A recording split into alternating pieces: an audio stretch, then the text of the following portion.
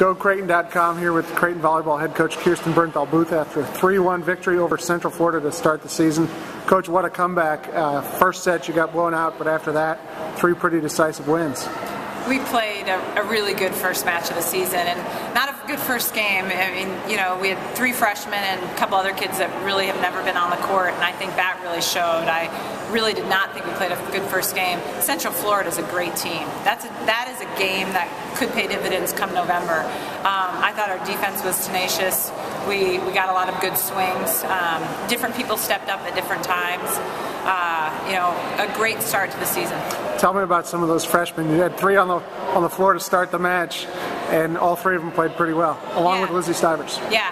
Um, you know, it was funny because Kate Elman's in the libero spot, and she tanked the first two balls. I mean, it just went right through her hands. Pretty routine digs, and uh, and then after that, she was golden. You know, it was just a, it was a case of you know, I'm nervous. It's my first go around. Um, Melanie carrying just so much load for our team in the L1 position, offense, passing, service or uh, defense, and just did a fantastic job. And then Ashley did a great job defensively and, and serving.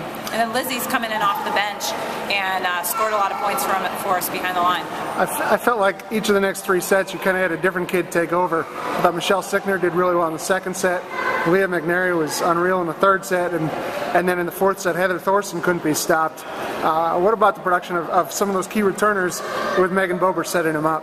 Well, you know, our concern coming into the weekend was our offense. I knew our defense would be pretty good. You know, I, I thought our serve receive would be okay. We're very young, um, but offensively, that was the question, and different players stepped up. You're exactly right. Leah, I thought, had one of her best matches, um, and you're right. At different games, she just dominated things.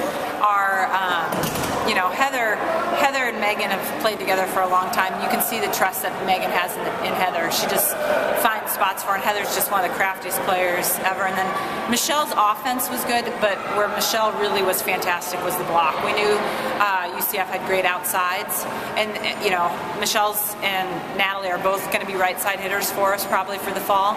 And we felt like we needed Michelle's blocking in this match, and she definitely stepped up. And then my last question I know you take a lot of pride in winning those close sets. And the second set, the four, or the, the I'm sorry, the last two sets were both, you know, 21 21, 22 22, and you guys pulled away late in both.